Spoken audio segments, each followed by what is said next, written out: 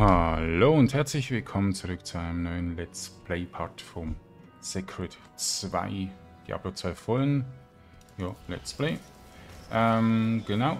Ich bin leider gestorben. Ich muss ja den PC neu starten, damit OBS nicht den ganzen PC mit einem Bluescreen random crashen lässt. Und habe direkt so einen ähm, Minotauren gehabt in Rare und der war übertriebsten stark. Also sehr, sehr, sehr zäh und sehr stark. Und da muss ich also wieder hier hinlaufen. Da ist zum Beispiel, ja genau so einer. ich habe Angst. Nicht so nah, bitte komm. Der macht ultra viel Schaden. Ja, aber ist durch den Magier, der hat ja eine andere Schadensart und meinem mehr Kultschaden jetzt wegen Umwandlung. Ich zeige es gleich. Ja, so. Und ich muss, glaube ich, irgendwie den Golem... Hm. Ja, ist umgefallen. Komm, bevor wir sterben, Mage. Seht ihr, wie viel Schaden der macht? Und das noch ohne Minions und so.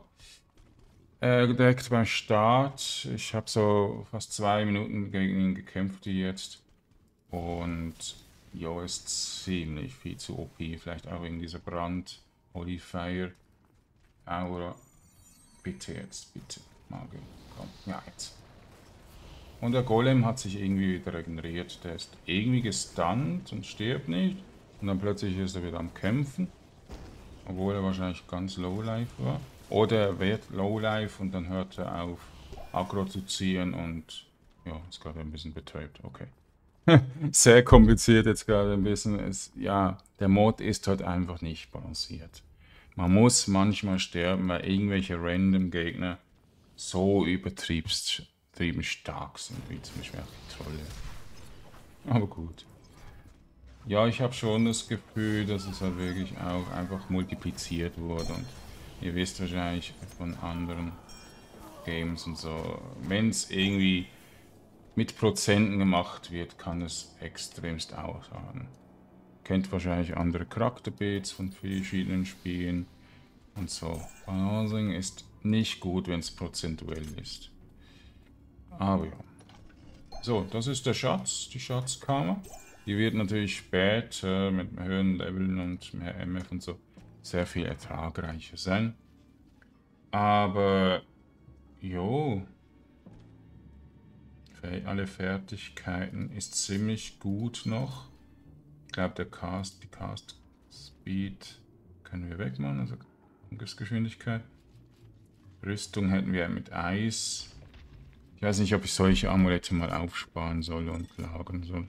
Solange wir mal Platz haben, machen wir es mal. Wird aber später dann nicht mehr so stark sein. Schaden, Magie, Zauberintensität. Ja. Also erst einmal, ich bin ja gestorben, bin beim Händler wieder aufgetaucht dort am Strand und habe mir diese Rüstung geholt. Die war dann eigentlich gerade sichtbar im Angebot. Und das heißt, wir sind noch ein bisschen zäher geworden. Blockschuss Nahkampf ist natürlich auch sehr toll. Und dann noch diese Handschuhe mit Schadensumwandlung auf Eis, nach Eis. Sehr gut. Und Regeneration bei, äh, pro Treff ist auch ein bisschen gut. Und äh, noch ein Item oder so, ich weiß nicht, Schuhe, genau, mit alle Fertigkeiten ohne Bewegungsgeschwindigkeit. Ja. Gut, also hier sind wir fertig. Ich mache jetzt hier natürlich nicht weiter, was es schwere Gegner gibt. Hier noch die Quest abgeben. Und danach müssen wir mal ein bisschen umschmieden. Gut, beim Händler vorbeischauen macht jetzt gerade keinen Sinn. Ähm, genau. Jetzt können wir eigentlich die Hauptquest mal folgen. Oder wir machen im Startgebiet einfach, ja vor allem für, den, für die Schmiede natürlich. Ah, in Zweibach ist eine Schmiede. Stimmt. Also dann könnten wir eigentlich jetzt hier weggehen. Hier gibt es übrigens ein paar Licht äh, Quests, die bei Licht sind, glaube ich. Oder bei Schatten auch, aber nicht gerade so. Und, ähm, jo, ich weiß nicht, wo ein Schattengebiet ist, wo es Schattenquests gibt. Mehr. Aber wir sind ja Schatten. Als Inquisitor können wir gar nicht Licht nehmen. Gut, er ist sehr fröhlich. Und ja, die Belohnung ist sehr schlecht. Ich bin ein Seraphim. Also Inquisitor. Ein Seraphim-Item. Oh. Gut, also hier oben hat es noch ein paar Sachen, aber wir gehen... Können wir. Ja, geben wir noch die Quest ab. Ja. Andarien. Und vielleicht habt ihr es gehört, einfach mal anfangs Part ein bisschen hinhören oder so. Es ist, glaube ich, Torchlight 2 Musik noch drin. Also habe ich doch richtig gehabt, dass noch in anderen Games bisschen Musik hinzugefügt wurde. Ist doch schön. Ah ja, der Magie... Wir finden sicher besser. Bisschen Magie-Defensive nicht schlecht, gell? Ich weiß nicht, wieso hier unten so eine Linie ist die schon immer war oder ob ich irgendwie da etwas anders habe. Vielleicht ein Bug oder so. Aber ich finde die Linie noch ziemlich schön. Gut, hier haben wir sonst nichts mehr zu erledigen, als die Quest abgeben. Ah, jetzt. Okay. Blinke Beinlinge des Pix. Ah ja, die, das Pix-Set, das bekommt mir ein bisschen bekannt vor hier haben wir noch eine Lagerküste.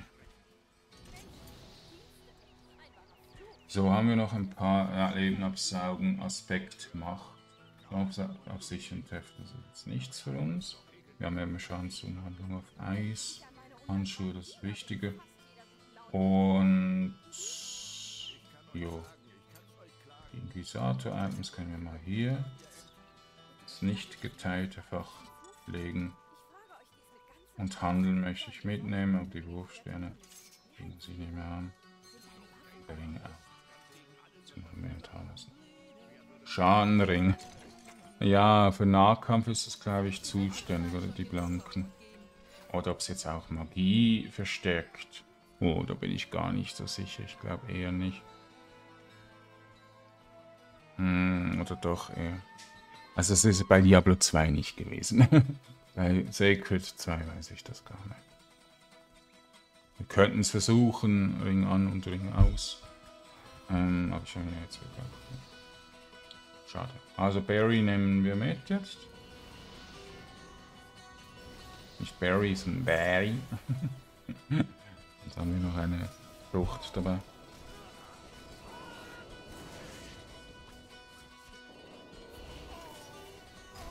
Die Musik ist, glaube ich, einfach so Blutmo, so, so Außengebiete, Akt 1 und Diablo 2.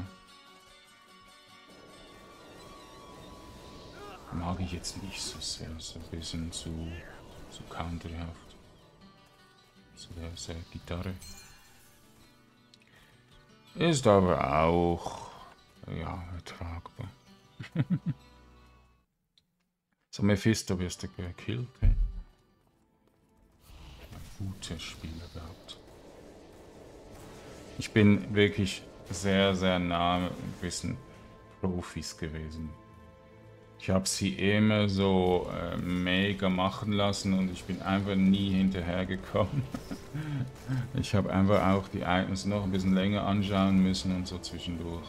Ja, bin, ich habe mich nie als Profi gefühlt, bin doch aber auch eben von den Profis supportet worden. Ich habe mich aber nie gefühlt, als würde ich auch Profi sein. Ist ja auch schwer. Vor allem, wenn man so Krankheiten hat wie ich, so Nervenkrankheit und so, möchte man auch nicht gerade so mega Profi sein. Ich gebe mir sehr viel Mühe, aber nur so viel Mühe, wie ich auch wirklich aushalten kann. Und dafür eben auch ein bisschen weniger schmerzempfindlich äh, oder so. Ich habe ja trotzdem Schmerzen, also mache ich einfach weiter und versuche das Beste. Aber jetzt wirklich zu sagen, ja, ich bin irgendwo wirklich der Profi, kann ich natürlich nicht. Bin zu fest eingeschränkt. So, wir haben den kleinen Mama Spare Liebling. Das heißt ja Mama Spare Liebling. Was haben die Entwickler geraucht? Ja gut, schon, aber wir haben ja die Mutter töten müssen. Also sie war, sie war böse. Sie hat uns angegriffen. Sagt dann der Drache, der alle gilt. Nee. So ist es nicht. Draco ist ganz lieb.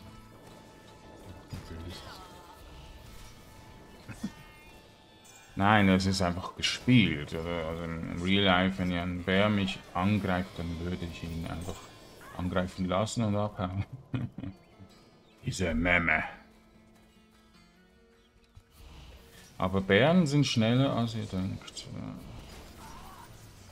Ich werde natürlich mit meinen coolen Akrobatik-Skills natürlich ausweichen können, fliegen können, aber das ist ein normaler Mensch, der irgendwie wandert oder so. Das sind halt Raubtiere, sie, sie könnten angreifen, könnten irgendwas beschützen oder so. Also meistens greifen die Bären wahrscheinlich nur an, wenn sie Kinder haben. Aber wieso reden wir eigentlich jetzt schon zwei Parts über Bären, weil sie einfach als Gegner hier sind? Und Wildschweine ja auch sehr stark sind. Komm, wir gehen mal Wildschweine jagen. So richtig Gothic 3 Meme, da waren sie ja mega mächtig mit den Knockbacks. Ja, Team Secret eigentlich auch. Wildschweine sind ernstzunehmender Gegner. Früher gab es ja immer so diese Japano-Rollenspiele ähm, meistens nur. Oder auf PC eher weniger, aber auf Konsolen. Und da gab es ja immer so die Gegner, die wirklich völlig lächerlich aussahen. Ne? So kleine Wieselchen, Rüschen, die aber auch ziemlich zäh und stark das war immer so. Ah, wie gerne möchte ich mit euch Alundra 2, ist jetzt zwar nicht so berühmt und gut äh, angekommen, oder äh, Grandia spielen. Ich muss mir echt mal holen bei Steam. Grandia HD Remaster, so wie es heißt, oder einfach HD. Das ist ein Spiel, das zwar wirklich anfangs noch ein bisschen schleppend ist, aber dann ziemlich gut wird. Wirklich ein tolles Asia-Rollenspiel. Der Comic Skin mal kurz da noch ein Punkt irgendwo. Noch ein Schild. Auf jeden Fall magischen Schaden. Also Feuer, Eis, äh, Knochensperre eigentlich auch cool.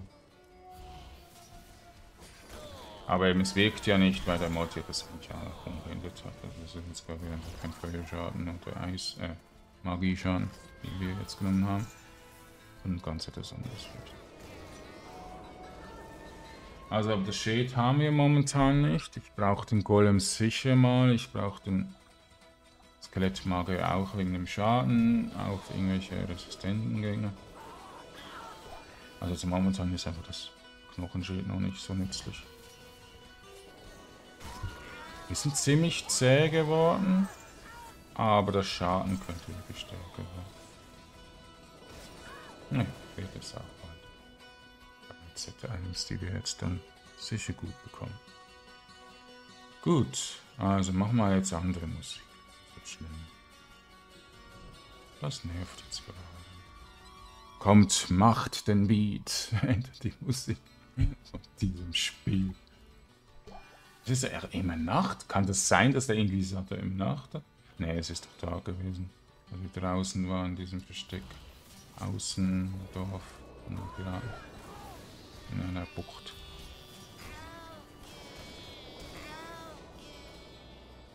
So. Also hier haben wir noch die Quests zum Abgeben. Die habe ich mal angenommen für die Relic. Wie, äh, wie, wie heißen sie? Hier rein, ja, muss ich jetzt eigentlich nicht unbedingt. Wir müssen hier hoch.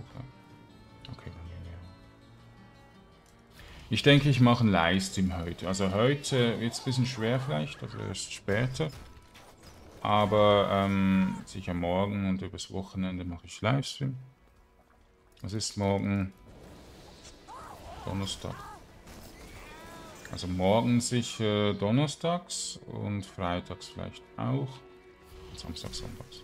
Oder freitags vielleicht nicht. Hm. Ich muss mir noch ein bisschen entscheiden können.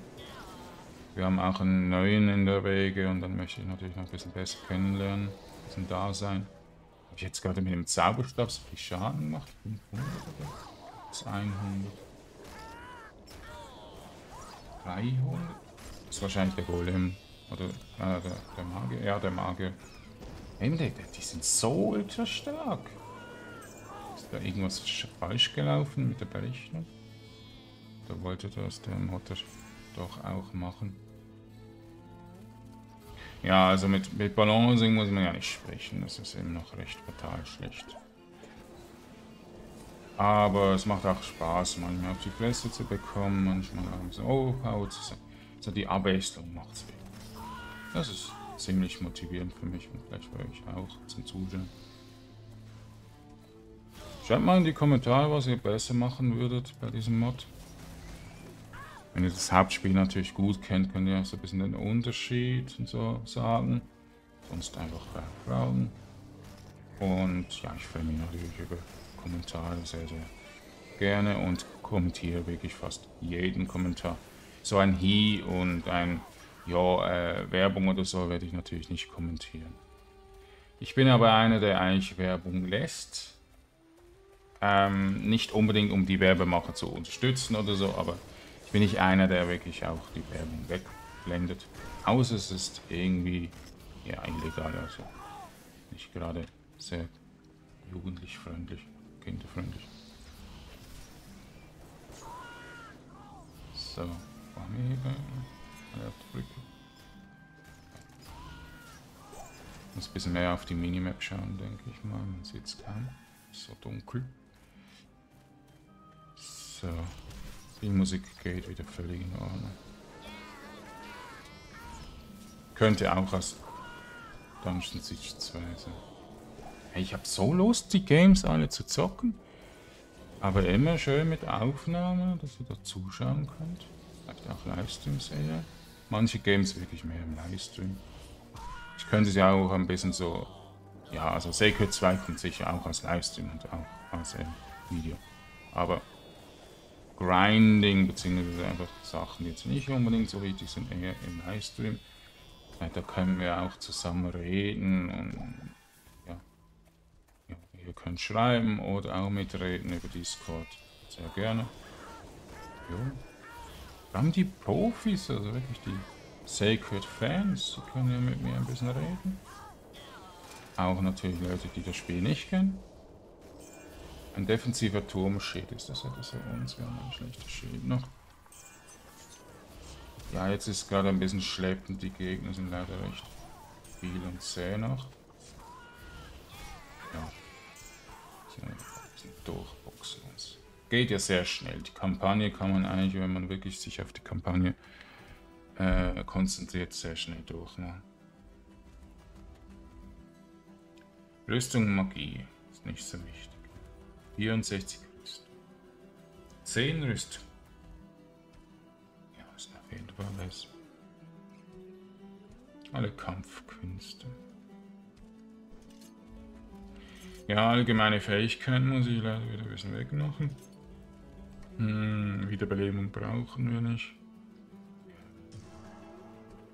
Und das haben wir noch nicht. Jetzt Pranger und hinrichten. Hm. Hinrichtung. Dann die Flüche. Bildung. Ah, da gibt es zwei Punkte, das habe ich gedacht. Ich noch nie die Runen richtig angelesen. Macht Stoß, macht so. Schändung. Was ist das noch? Alten ist Doppelgänge. Haben wir Doppelgänge? Ich tue euch, glaube ich, ein bisschen langweilen gerade wieder. Wir haben Doppelgänge noch nicht. Aber so Sachen, ja, machen wir einfach, damit wir die Fähigkeiten haben. Ist noch ein bisschen wichtig.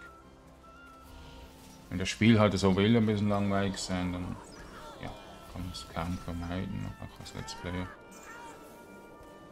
Ich habe übrigens in letzter Zeit recht viele Streamer wieder bei Twitch angeschaut. Ich war ein bisschen abwesend von Twitch. Ich habe ja auch mal versucht, bei Twitch wieder zu livestreamen und es ist immer wieder ein bisschen abgestürzt und so, aber ich denke, es ist so weit, dass ich es da wirklich ja, sehr stabil jetzt machen kann. Suchen. Ja.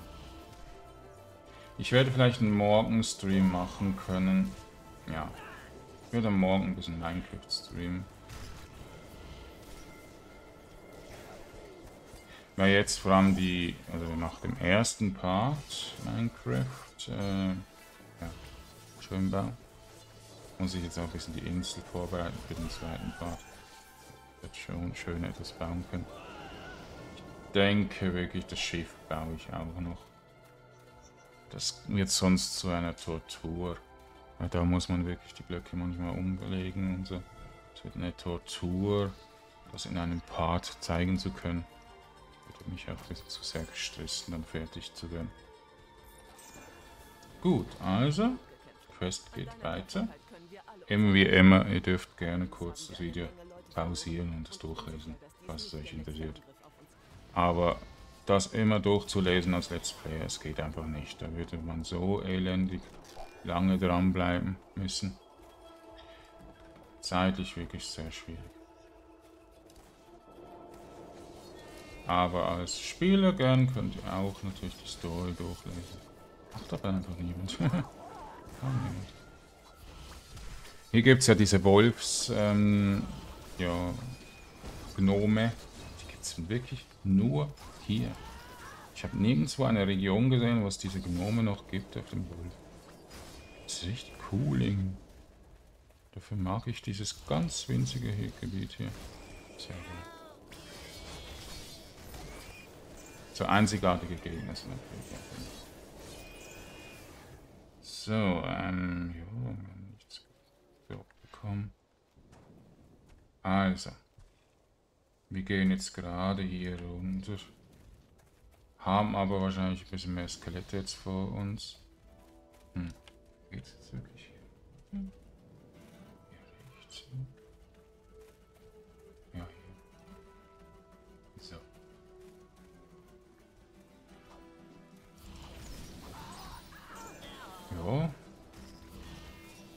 Charakter spielt sich schon gut, eben der Schaden ist noch nicht so hoch, damit er hier das Skelettmage. Wir haben ja eigentlich auch noch kurz zum Schmied wollen gehen. Das müssen wir jetzt machen. In der Hauptstadt zum Beispiel. Oder würde ich jetzt sogar kurz... Hm, ich komme nicht mehr dorthin, gut. Zwei Wochen. Haben sie, äh, ich habe es einfach vergessen.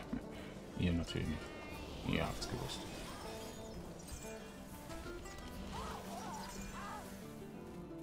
So, also auch die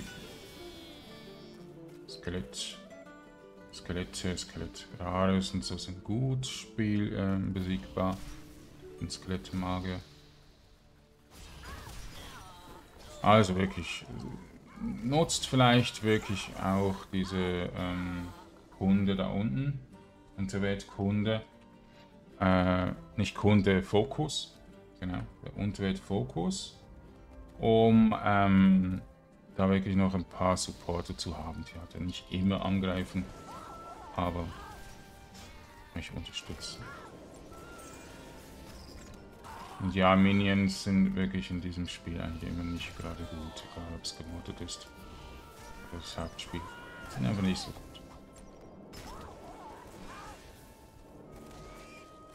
durch diesen Bug, dass die manchmal echt nicht wissen, was sie machen müssen. Schade. Ja, hatten die das Spiel einfach nicht gerade so extremst umfangreich und schön gemacht und wären sie viel mit mehr Erfolg da gewesen. Die Entwickler haben einfach vieles falsch gemacht schon. Aber dafür, ja, man ist einfach auch Fan. Secret 1 war ja gut genug. Ist auch mal ein Projekt würdig, vor allem mit einem Reborn-Mod heißt er und so. Wird sehr schwer sein, aber und ja, ich mag die Grafik wirklich nicht so, die ist zu verpixelt. Macht mir in den Augen ein bisschen weh. Aber nur zu Kommentare, gell, ihr dürft es bei mir auch sehen. Das ist wirklich gewaltig.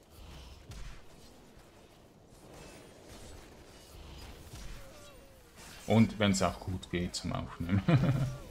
zum Spielen sicher, aber zum Aufnehmen könnte es vielleicht ein bisschen Probleme machen. Aber was ich eigentlich noch mache, wenn ich wirklich mehr Zuschauer habe, ist Dungeon Siege 1. Vielleicht sogar zusammen, ich weiß nicht, mit 6 Spielen, glaube ich. Geht das Maximum? Oder 8 zusammen. cool. Aber ich glaube, für die Kampagne muss man einen Mod runterladen, um zusammen zu spielen. Bin mir nicht sicher, ob es geht. Ja. Weil alleine, ja, der Anfang schon, aber so ab Level 60 oder so, ich weiß nicht, was das Max-Level in der Kampagne so werden wir um den Dreh, ähm, ist dann wirklich sehr zäh. Es gibt noch eine Map und die möchte ich dann gerne im zweiten Schwierigkeitsgrad machen. Also nicht der Schwierigkeitsgrad, den man auswählen kann, sondern dass man einfach das wiederholt und dann nochmals, ich glaube, äh, Veteran und Legendär heißen sie. Und dann natürlich nochmals die Chance bekommt, bessere Items zu finden und so. Macht sehr viel Spaß.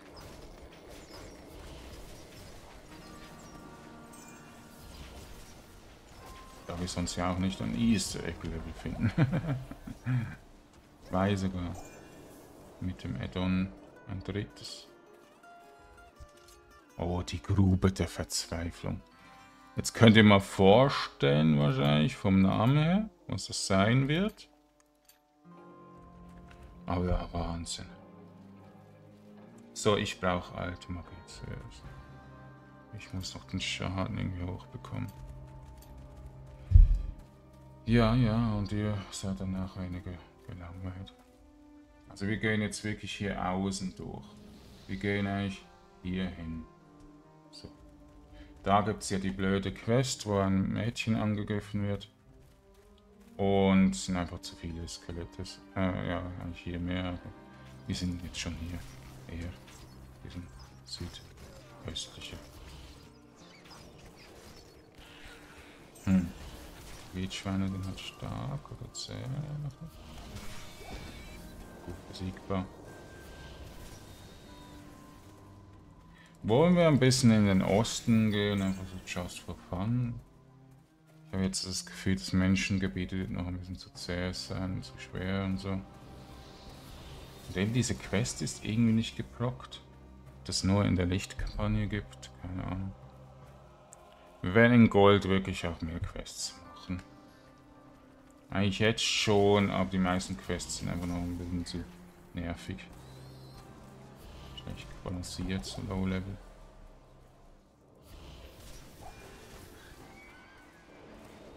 Ähm, in der Stadt, ja, es gibt nicht so gute Quests.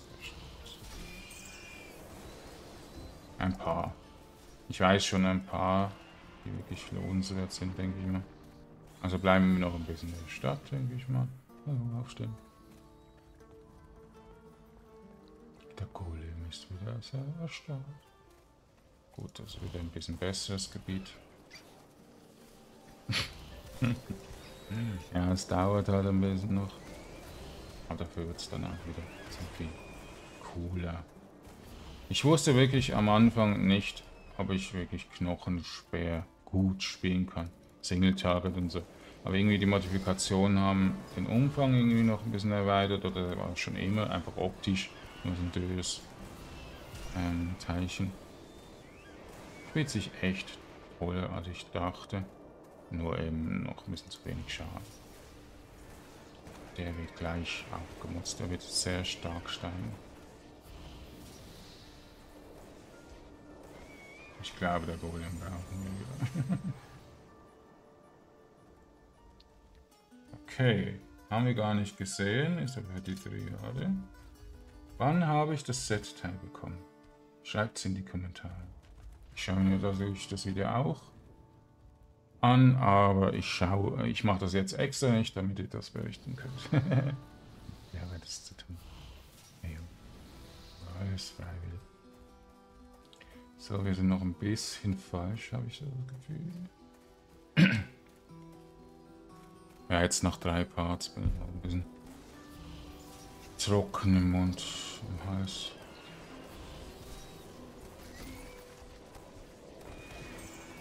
Hm. Aber mir fehlt ein bisschen die Zeit. Muss also vor, äh,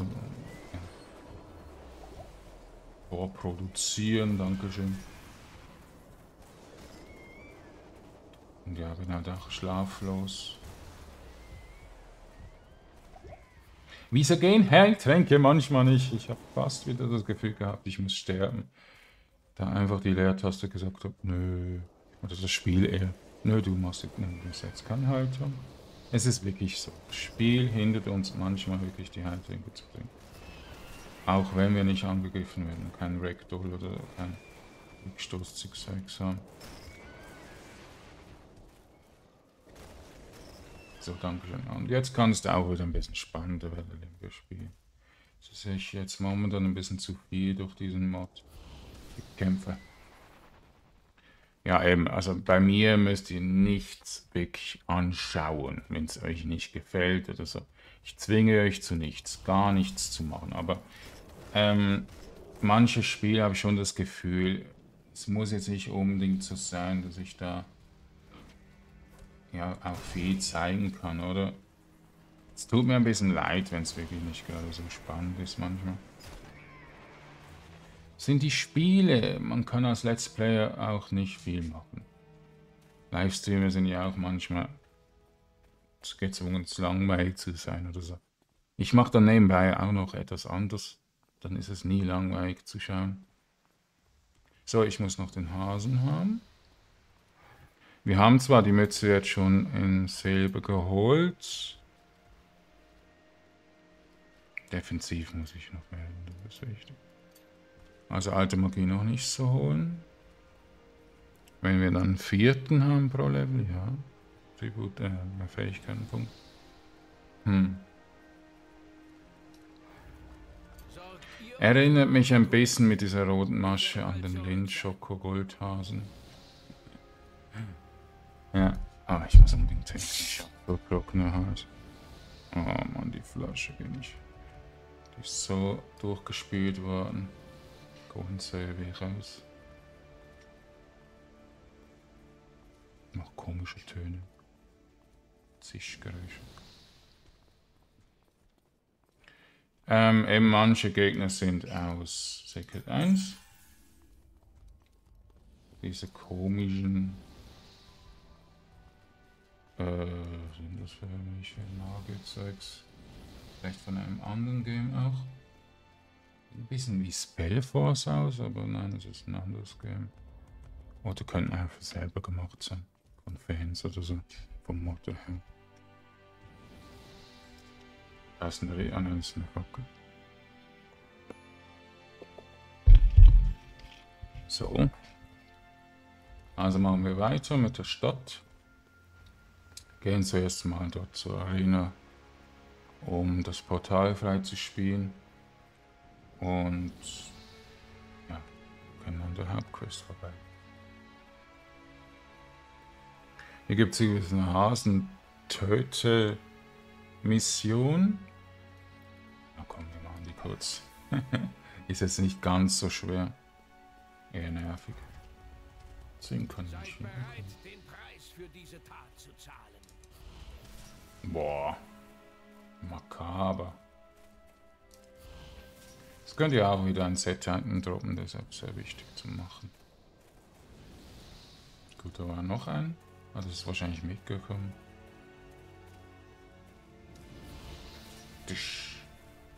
Die haben sehr wenig Resistenz, 214 Schaden. Diese Reichweite.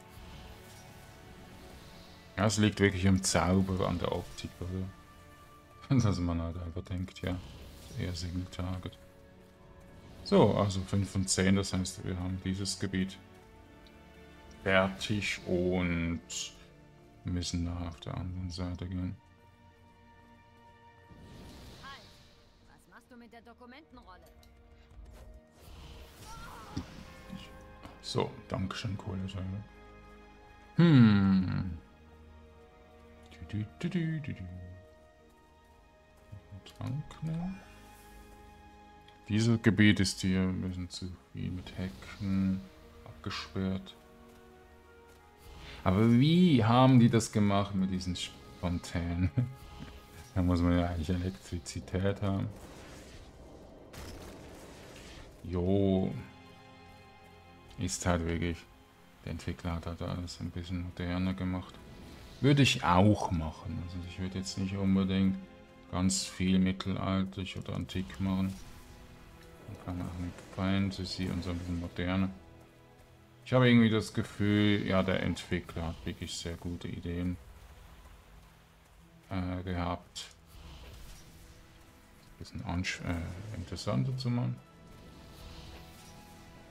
Bin ja auch ein Fantasy-Fan. Äh, moderne jetzt nicht mehr so. Also der 15er wollte ich kaufen, habe es aber dann einfach finanziell und ja, einfach so typisch mich nichts mehr so interessiert, oder? Dass ich jetzt sage, ja, ich kaufe mir so ein teures Spiel, das auch so ewig lang dauert, wenn es mir nicht ganz so gefällt. Ich eher andere Chance lieber habe. Also Japaner-RPG ist einfach für mich nicht mehr so motivierend. Früher wirklich gerne gespielt, aber ich habe irgendwie das Gefühl gehabt, sie, äh, sie haben sich verändert. Damals auf Super Nintendo und PS1, also PlayStation 1, waren sie noch viel spannender, interessanter. Aber ja, das ist meine Meinung. Also ich muss ja früher öfter spielen. Vielleicht habe ich dann wieder mehr Interesse. Aber mit euch zusammen, wenn ihr auch ziemlich gerne schaut und so. Sehr, sehr gerne. Also ihr seid wirklich die Gaming-Motivation für mich. Ist sehr wichtig. Jetzt würde ich wahrscheinlich nur Fußball spielen und... Ja, ich spiele schon viel zu viel. Könnte wieder aufhören. Aber ja, meine Gesundheit, also meine Krankennervenkrankheit, die, die es, es braucht es einfach, oder? Andere Streamer ja komplett gesund, voll, mega viel Geld und so. Die können den ganzen Tag streamen und Videos machen. Ich kann es leider nicht so. Müssen wir eigentlich wieder... Nein, zur Arena müssen wir genau... Okay, machen wir das noch? Oh, schon so spät. Uh, gut, also haben wir einen längeren Part und YouTube wird halt ein bisschen länger verarbeiten. Mache ich gerne zwischendurch, wirklich. Aber wir haben auch wirklich bisschen viel machen müssen, viel laufen müssen. Gegner gehabt, die zäh waren und so. Ja, wird wahrscheinlich einfach weniger geschaut oder ja, vielleicht habt ihr auch lieber. Und beim Gladiator machen wir mal Pause und haben dann einen Arena-Kampf scheinbar. Das waren es drei Lizards, äh, echten Menschen. Gut ja, der Charakter hat sich gemacht. Es macht jetzt mehr Spaß zu kämpfen mit ihm. Und jo, einfach der eine Tod zwischen der letzten und dieser Folge, das, das liegt einfach am Mod. Das, das ist völlig unbalanciert manchmal. Manche Gegner sind so ultra stark. Aber gut, ja. Eben, es braucht immer auch noch zu laden ein bisschen und die Buffs sind auch nicht aktiviert und so. Ist echt doof gewesen. Das sollte eigentlich nicht gewesen sein vom Spiel, dass man direkt mit Gegner umzingelt ist, irgendwo spawnt, die auch eben so mächtig sind. Naja. Tschüss. Tschüss, Gladiator.